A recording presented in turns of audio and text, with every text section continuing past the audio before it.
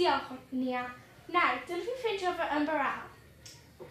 Nawr, draw i gosb i hyd gyda merched.